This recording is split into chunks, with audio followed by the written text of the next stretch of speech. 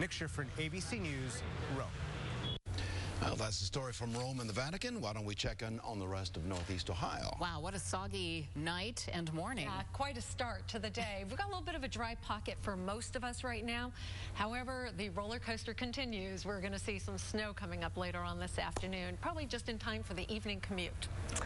So there's that. Yeah, let's take a look outdoors. We want to go to our Serpentini uh, tower cam, and you can see there's mostly cloudy skies out there, a little bit on the gray, dreary side at the moment, uh, but at least it's dry. That it is. Again, most of us saw the rain come through early this morning, and we're going to get something of a break coming up right now, and then additional precipitation coming up in time for late this afternoon. I anticipate things getting going around uh, the middle of our area and the eastern sections, probably 4 or 5 o'clock. Some of the extreme western sections seeing a little bit of precipitation even right now, but again, most of us looking at uh, fairly dry conditions. We've got a couple of systems, though, that are going to be working their way toward us. And uh, one is a cold front that is going to be accompanied by a system of low pressure. Again, that low pressure system, that's going to be a snowmaker for us. So for right now, though, temperatures not all that bad. We're looking at readings that are a little bit above normal for this time of year in some locations. Uh, right around 40 degrees is where we should be. Right now, Mentor's at 43, 42 for downtown Cleveland, Elyria with 43.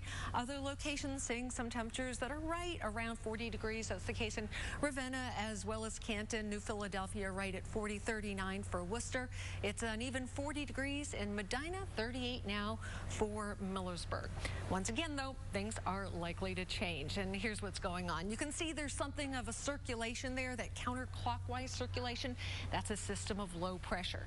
Adjoining that is a cold front. These two systems are going to come through very close together late this afternoon. Again, I think we're going to start to see changes for most of us 4, 5 o'clock, unfortunately, right in time for the evening commute. The air should get cold enough that we're likely not going to see rain, but instead likely going to see a little bit of snowfall. Here's what we're expecting again.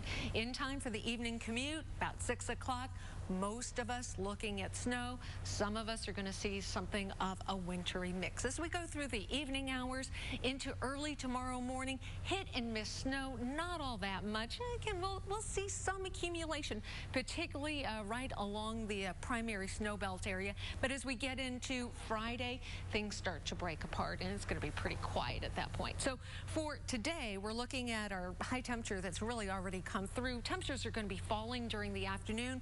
Snow snow starting up at about 5 o'clock this afternoon, and we're going to see some on-again, off-again snow throughout the evening hours, 1 to 3 inches possible with the higher accumulations uh, right along the primary snow belt.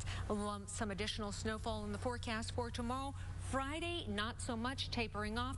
By Saturday, we should be dry but cold. Sunday, a little additional snowfall.